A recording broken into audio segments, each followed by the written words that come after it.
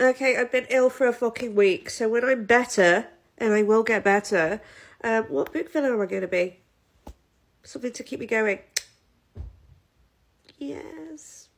yes. Watch out, bitches. Once I'm at full health again.